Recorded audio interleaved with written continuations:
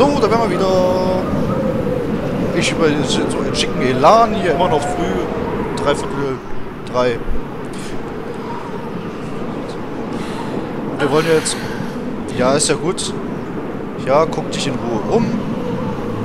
Weil du hast ja hier sowieso nichts zu tun, außer zu überleben. Durch den hohen Schnee, durch den Wind. So, wir wollen jetzt Lager jetzt untersuchen. Beweg dich bloß nicht schneller. Es ist kalt. Nichts. So, wir müssen... Ach du Scheiße.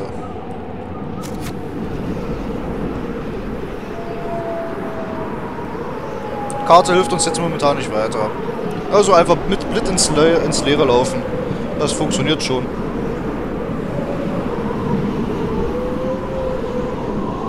Auch wenn jetzt nicht viel passiert.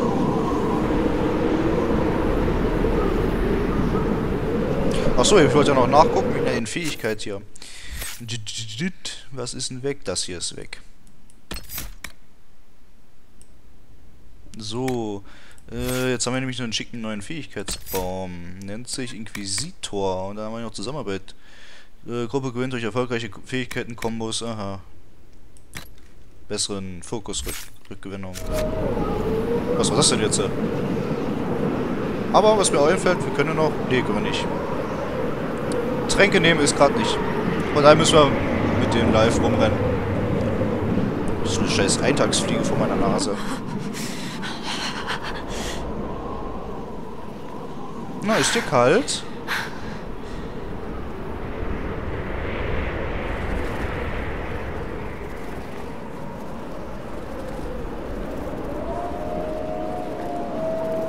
Es ist noch warm.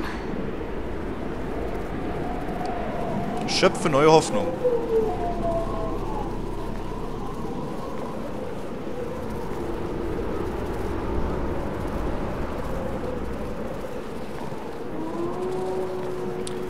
Du, das wird hier aber ziemlich schwer mit neuer Hoffnung schöpfen. Wenn das hier so aussieht, wie es aussieht. Ah, da, Licht. Da sieht's warm aus.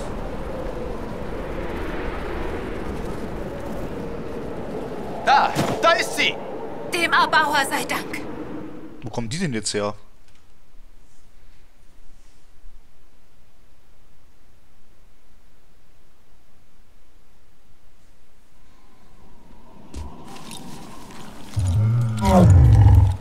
Wo waren eigentlich die Magier bei dem Angriff? Das frage ich mich.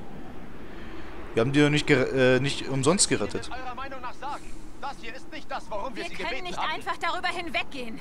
Wir müssen eine Möglichkeit Und wer finden. bitteschön hat euch das Kommando übertragen?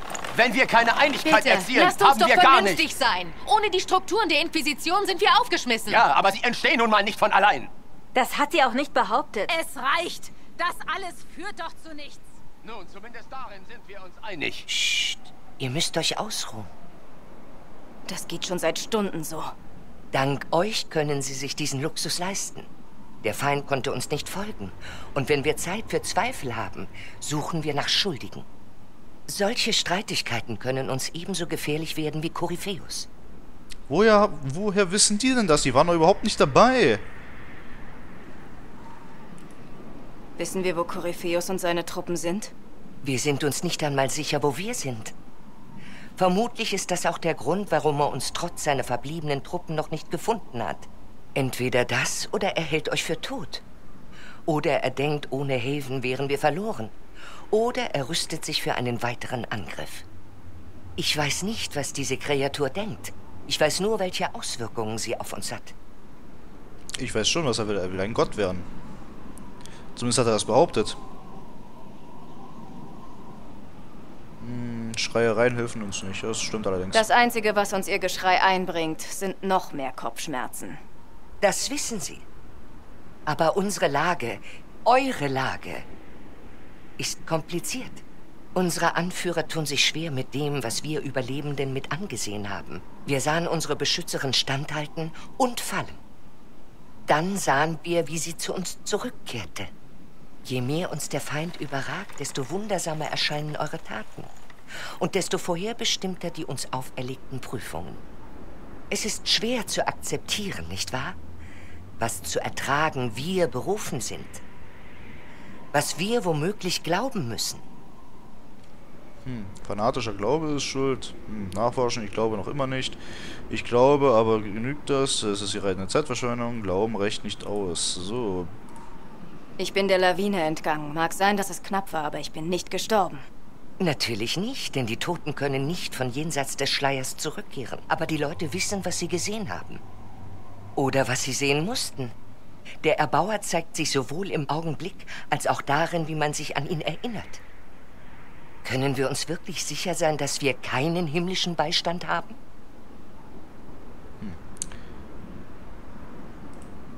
Ihr saht Korypheus. Was denkt ihr über seine Behauptungen, er habe den Himmel angegriffen? Die Schrift besagt, einige Magister Tevinters, Diener der falschen alten Götter, seien in die goldene Stadt, den Sitz des Erbauers, im Nichts eingedrungen. Für diesen Frevel wurden sie zur dunklen Brut. Ihre Anmaßung ist der Grund, warum wir unter Verderbnissen leiden und sich der Erbauer von uns abwandte. Wenn es das ist, was dieser Korypheus von sich behauptet, so ist er ein unbeschreibliches Monster.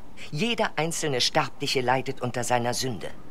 Sollte nur ein Bruchteil davon wahr sein, ist es umso wahrscheinlicher, dass Andraste jemanden erwählen würde, der sich ihm entgegenstellt. Mhm. Korypheus sagte, er habe nur Verderbtheit und Leere vorgefunden, nichts Goldenes. Wenn er diesen Ort betreten hat, wurde er von ihm innerlich und äußerlich verändert. Die Lebenden sind nicht für diese Reise bestimmt. Vielleicht gibt es Lügen, die er sich selbst erzählen muss, anstatt zu akzeptieren, dass der Erbauer ihn nun verachtet. Ich könnte dieses Wissen nicht ertragen. Hm, das hier ist reine Zeitverschwendung. Ich glaube immer noch nicht. Hm, ich glaube es immer noch nicht. Weder beim Konklave noch in Haven habe ich irgendeinen göttlichen Beistand gespürt. Den anstehenden Kampf muss ich wohl allein führen.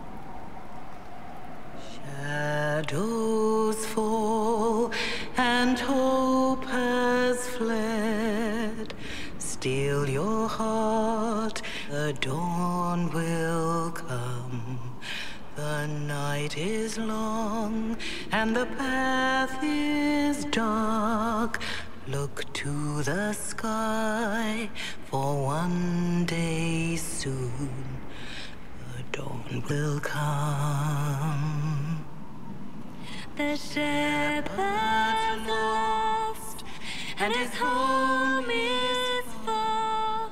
Keep to the stars,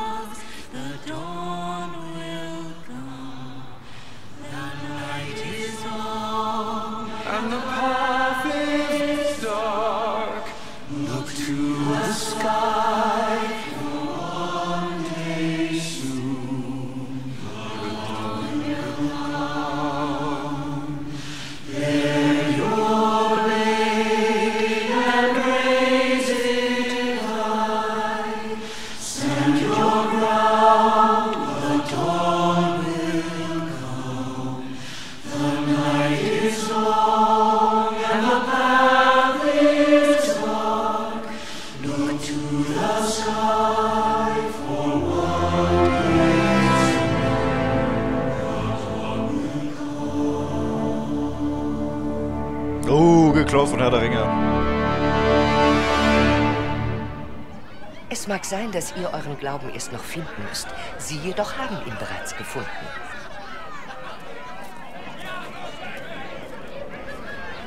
Auf ein Wort?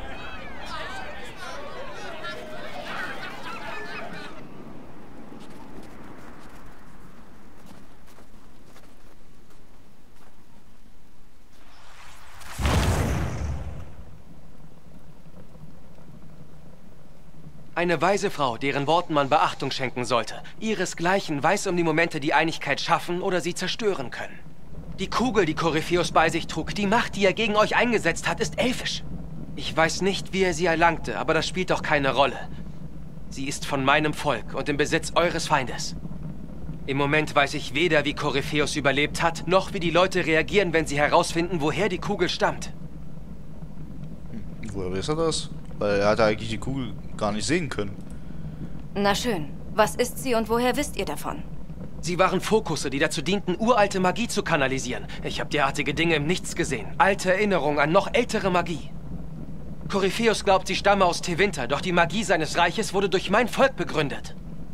Ob wissentlich oder nicht, es stellt eine Gefahr für unser Bündnis dar. Im Moment geht es nur allein darum, hier nicht zu erfrieren. Darin sind wir uns einig und ich habe womöglich eine Lösung. Aber eine nicht sehr komfortable Lösung.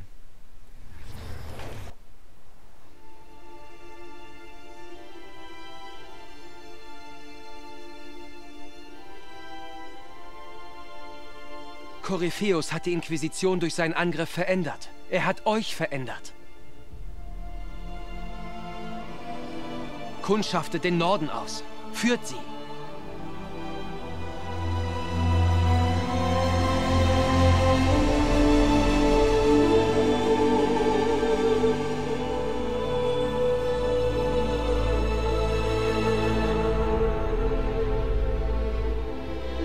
Es gibt einen Ort, der auf eine Streitmacht wartet.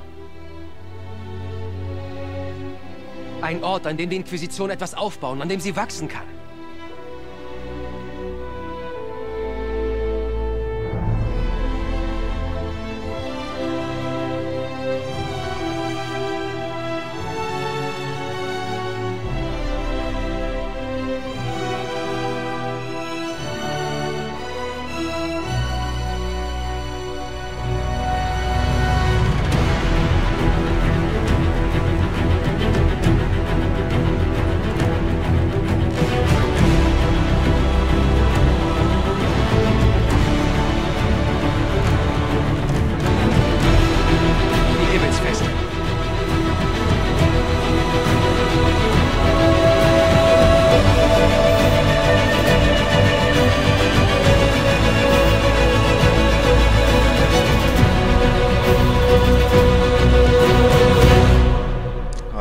Tatsache, dass das Ding Löcher im Dach hat, und zwar nicht gerade kleine, würde ich sagen, das könnte ein wenig schwer werden.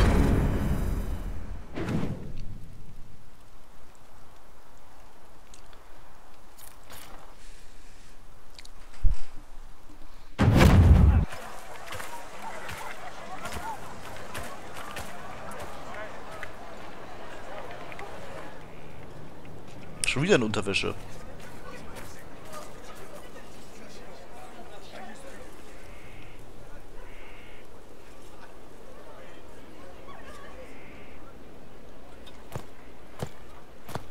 Aber die, den Helm behält sie immer auf. Hm. Sehr komisch. Bezüglich Bemalung. Täglich kommt mehr Landvolk aus den umliegenden Ansiedlungen hierher. Die Himmelsfeste wird zur Pilgerstätte. In seinem baulichen Zustand. Wenn die Nachricht diese Leute erreicht hat, weiß auch der Älteste Bescheid. Wir haben die nötigen Mauern und Männer, um uns hier zu halten. Aber diese Bedrohung ist weit größer als der Krieg, den wir erwartet hatten. Allerdings wissen wir jetzt, wie ihr Korypheus standhalten konntet und was ihn zu euch geführt hat. Ist doch egal, ist verrückt. Die Inquisition. Er wollte den Anker, fangt nicht schon wieder damit an. Er ist deshalb gekommen. Und jetzt nützt es ihm nichts mehr. Also will er mich tot sehen. Ganz einfach. Der Anker hat Macht, aber er ist nicht der Grund, warum ihr noch hier seid. Eure Entscheidungen ermöglichten uns, den Himmel zu heilen. Dank eurer Entschlossenheit haben wir Haven überlebt. Ihr seid wegen dem, was ihr getan habt, die Rivalen dieser Kreatur. Und das wissen wir, wir alle. Die Inquisition braucht eine Anführerin. Jemanden, der sie längst anführt. Ja, ich würde aber was Komfortableres nehmen, wie Dolche.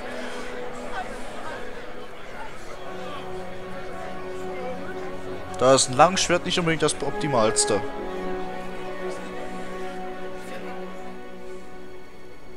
Euch.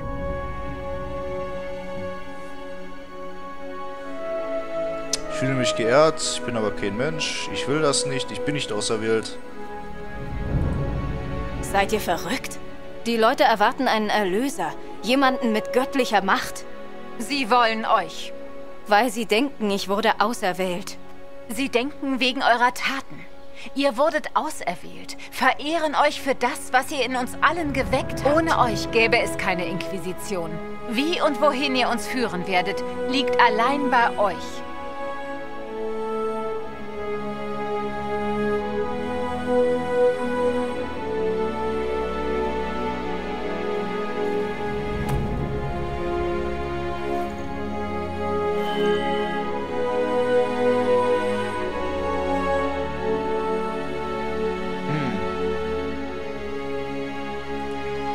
Ich werde euch gegen Korypheus in die Schlacht führen und eure Botschafterin sein. Ich bin eine Kunari, die Thedas verkörpert. Die Inquisition steht für alle. Wohin ihr uns auch führt. Wurden unsere Leute informiert? Ja, und bald wird es die ganze Welt wissen. Kommandant, werden Sie uns folgen? Inquisition, folgt ihr uns!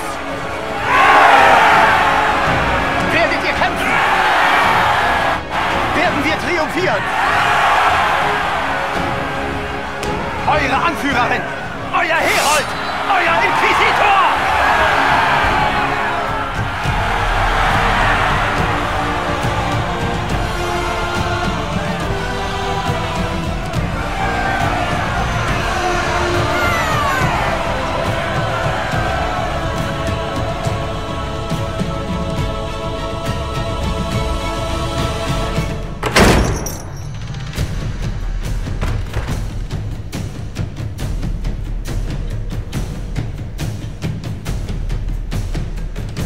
Das sieht nach einem Haufen Arbeit aus.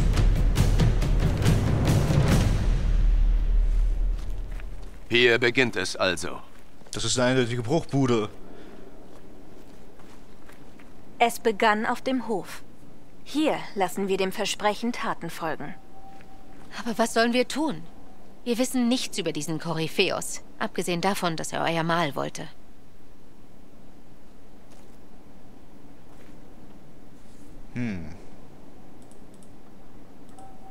Korypheus will Winter wiederherstellen.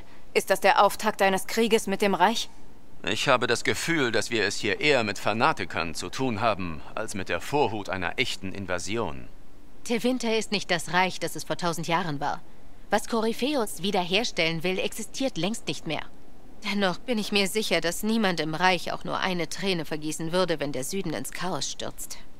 Ja, das glaube ich auch. Korypheus sagte, er wolle die schwarze Stadt betreten. Er sagte, das würde ihn zu einem Gott machen. Er ist bereit, diese Welt zu zerstören, um die nächste zu erreichen. Es spielt also keine Rolle, ob er sich irrt. Und wenn er sich nicht irrt? Was, wenn er irgendeinen anderen Weg ins Nichts findet? Dann erlangt er entweder die Macht, nach der er strebt, oder er stürzt uns alle ins Verderben. Könnte sein Drache tatsächlich ein Erzdämon sein? Was würde das bedeuten? Den Beginn einer neuen Verderbnis. Wir haben abgesehen von Korypheus selbst keine andere dunkle Brut gesehen. Vielleicht ist er ja gar kein Erzdämon, sondern etwas anderes. Was auch immer er sein mag, er ist gefährlich. Die Kontrolle über eine derartige Kreatur verschafft Korypheus einen gewaltigen Vorteil. Es muss da draußen doch jemanden geben, der irgendetwas über Korypheus weiß. Ich fürchte, abgesehen von denjenigen, die ihn in der Schlacht gesehen haben, werden die meisten nicht einmal glauben, dass er überhaupt existiert. Mir fällt auf Anhieb einer Einen ein. Vorteil zumindest haben wir. Wir wissen, was Korypheus als nächstes vorhat. In dieser merkwürdigen Zukunft, die ihr erlebt habt, wurde Kaiserin Selene ermordet. Stellt euch nur vor, welches Chaos ihr Tod verursachen würde. Mit seiner Armee. Eine Armee, die er, wenn man der Zukunft Glauben schenkt, noch durch eine gewaltige Dämonenstreitmacht verstärken wird. Gott hin und her. Korypheus könnte den gesamten Süden von Thedas erobern. Ich würde mich deutlich besser fühlen, wenn wir mehr darüber wüssten, mit was wir es hier zu tun haben. Ich kenne jemanden, der uns dabei helfen kann. Die allgemeine Begeisterung hat auch meinem Gedächtnis auf die Sprünge geholfen, also habe ich einem alten Freund eine Nachricht geschickt. Er hatte schon mal das Vergnügen mit Korypheus und weiß vielleicht mehr über seine Pläne. Er kann uns sicher helfen. Ja, ich verrate nicht, wer es ist, aber ich weiß, wer es ist. Hm. Ich will nicht, dass ihr in meinem Namen irgendetwas versprecht, Varric. Ich löse eher Versprechen ein, die ich längst gegeben habe. Tatsache ist jedenfalls, dass auf den Wehrgängen Hilfe auf euch wartet. Glaubt mir, die Sache ist kompliziert. Also schön. Wir sind bereit, uns mit beiden Angelegenheiten zu befassen. Wir erwarten eure Befehle, Inquisitor. Ich weiß nur eines. Falls Varric gerufen hat, wen ich denke, den er gerufen hat, bringt Cassandra ihn um. Das glaube ich allerdings auch. Denn er hat der Felsen... Das soll die Inquisition sein? Eine staubige alte Ruine voller abgehalfterter Soldaten? Oh ja, das ist sehr beeindruckend. Für jeden Feind. Total. So, findet den Ratsraum, findet den Schmied, Macht benötigt. Äh, be, be, be, wo sollen wir überhaupt hin? Krypta. Willkommen im Himmelsfest. Na gut, machen wir das als erstes. Hier gibt es jetzt ein bisschen was zu erforschen, also hier wird nicht mehr viel passieren. Halt. Heruntergefallener Kornleuchter. Zwergische Arbeit, das können wir auf Anhieb erkennen. Ich kann das nicht, naja, egal. Aha. Hm. Ich hätte fast gesagt wie Game of Thrones, aber nein. So ähnlich sieht dann doch nicht aus. Aber scheiße sieht er aus. Oh, der Schmied. Was mögen sie hier unten wohl gemacht haben? Und was könnte ich hier machen? Ich habe in diesem Leben schon zu viele brennende Häuser hinter mir gelassen. Aber das hier, das wird schon. Ihr seid jetzt Inquisitor, was? Da muss ich mich erst noch dran gewöhnen. Ihr denkt, es klingt seltsam, das zu sagen. Aber es zu hören ist noch seltsamer. Hauptsache, es steigt euch nicht zu Kopf. Wir brauchen euch bei klarem Verstand. Jetzt haben alle einen guten Grund, Korypheus zu hassen. Das haben wir zwar auch schon vorher getan, aber jetzt hat das Kind einen Namen. Ihr seid die Überraschung, nicht er. Wir mussten überstürzt aufbrechen, aber ihr wart in eurem alten Haus. Konntet ihr irgendetwas retten? Meinen Familienhammer. So albern es auch klingt. Es tut gut, wieder arbeiten zu können. Wie macht sich eure neue Schmiede? Sie ist besser als Haven je hätte sein können. Die Umstände könnten zwar besser sein, aber ich schätze, wir müssen nach vorne schauen. Könnt ihr zu den Leuten, die wir in Haven verloren haben, etwas sagen? Ich habe Minave nie verstanden. War vermutlich mein Fehler. Der Rest von uns macht weiter. Das sind wir Ihnen schuldig. Ihr habt uns die Chance dazu gegeben. Danke dafür. Wie ist es? Kommt ihr zurecht? Das wird schon, wie immer. Dort wäre Platz für... keine Ahnung wofür. Hier ist genug Platz für etwas Großes. Da kommt eine Menge Arbeit auf mich zu. Ich komme später wieder. Ich werde hier sein. Na bitte, passt. Passe die Himmelsfeste an. Himmelsfeste Anpassung. So, ändere das Banner der Inquisition. Was haben wir? Einen freien Marschall für Relden, Dalish, Templer, Reich von T. Winter, Graue Wächter.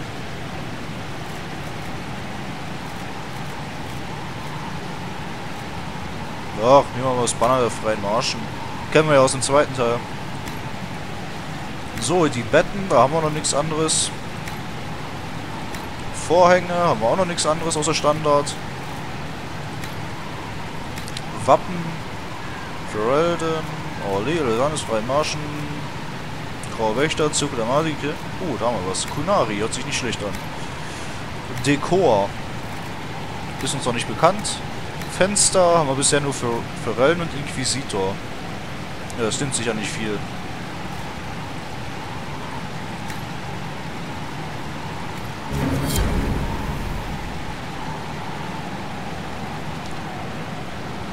So, Rüstung herstellen, Waffen herstellen. Hier können wir sie modifizieren wieder. Oh, Sonderlieferung. Das hört sich nicht schlecht an.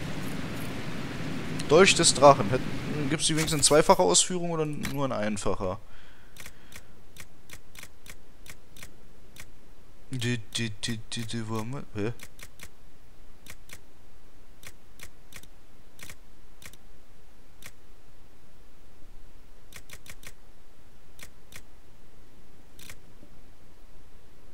Stäbe. Warte mal, einhändig. Äh, wie jetzt? Haben wir gerade Zeug eingesackt. Gut, warten wir mal. So, ist das jetzt fertig alles? Ah, Plan. Ach, Pläne. Ach, verdammt Axt. Hm, na, gucken wir mal. Ähm, Waffe, Waffe. Wo war der Waffenständer? Da hinten. Wellenklinge, Magierstab, Hüterstab, Ausbildung, Warte mal, hier haben wir. So, Schild des Drachen, Grotschild, nein, das suche ich alles nicht. Wo haben wir denn? Stabklinge, nein, wir sind schon vorbei. Stab des Drachen.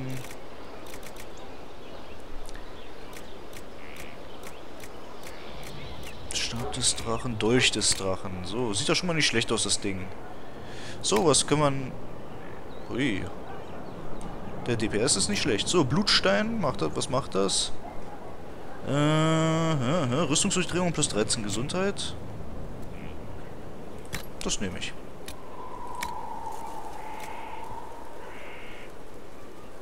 Klugheit, kritischer Schaden, kritische Trefferchance.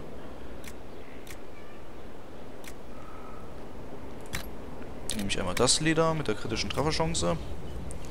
So, Klugheit, kritischer Treffer, Schaden, Verteidigung im Fernkampf, nee, danke. Äh, Bärenhaut nehme ich auch noch mit rein. So, Gegenstand herstellen. Präziser flinker Schnitt, also das ist mir der Bums, wie das hier ist.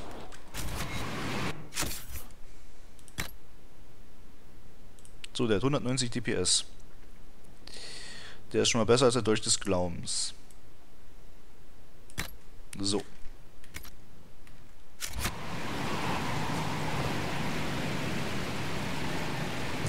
Aber wir können doch garantiert noch modifizieren.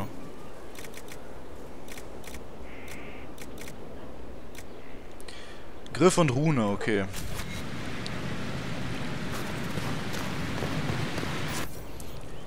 So, äh, Accessoires, wo haben wir sie denn? Schilde, Waffenruhen, nee. Haben wir nicht irgendwo Modifizierungszeug separat irgendwo aufgefasst? Stäbe, Dolche, Bögen, Schilde, Waffen. Ja, Bögen. Dolch, robuster Dolch, ausbalanciert. Ach, jetzt haben wir hier Dolchgriff, also ausbalancierten. Was macht das? Äh, steht nicht da, schade. Was sieht denn schicker aus? Ich finde das hier. Zweimal Metall, okay. Vitrol, was haben wir da? Stärke? Ne, brauche ich nicht. Äh, Ausdauer, Konstitution, Stärke, Stärke, Stärke, Stärke, Konstitution, Konstitution, Schaden gegen Block. Äh, Stärke, nee, Stärke, Stärke, Stärke, Stärke. Konstitution, Rüstung, Durchdringung, das nehme ich. So. Geschicklichkeit, kritische Treffer, auch das nehme ich gleich. Präziser Griff.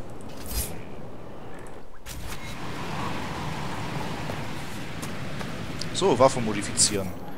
Gott sei Dank müssen wir dafür nicht auch noch was blechen.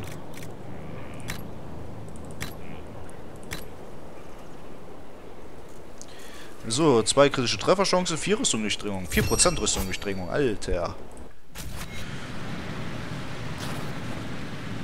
So, Tränke. Wir rüsten uns erstmal wieder auf mit äh, Tränken. So. Und den Rest der Festung gucken wir uns in der nächsten Folge an. Bis dahin. Ciao.